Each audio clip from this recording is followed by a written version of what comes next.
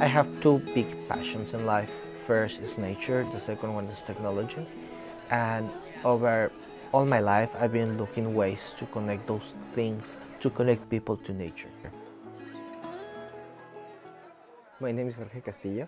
I am an environmental visual communicator. I'm from Ecuador. I'm a second year student at Ohio University. I'm pursuing my MFA in Communication Media and Arts. I am the assistant video producer for the Storytelling Institute.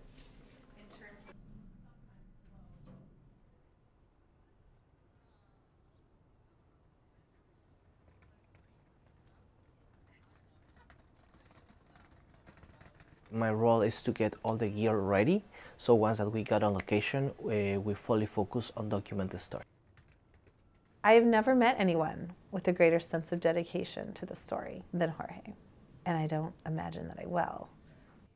With the support of the Sugar Bush Foundation, we have been able to bring graduate students on board to help us as a production team here at the Storytelling Institute. I think that no matter what, we would have worked with students, but Sugar Bush Foundation opened up the opportunity to really integrate students on a very professional level in terms of really being partners often with the students we get to work with, the graduate students especially. They become a very critical part of really all that we do here, and we get to learn alongside them.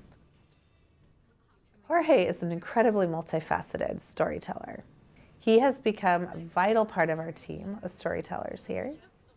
More than anything, Jorge brings about a hundred new ways that we can reach audiences, that we can tell stories, that we can solve problems.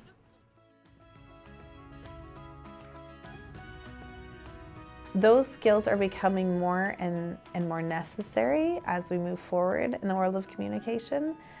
They're what keep people interested in the important stories that we, we want to share.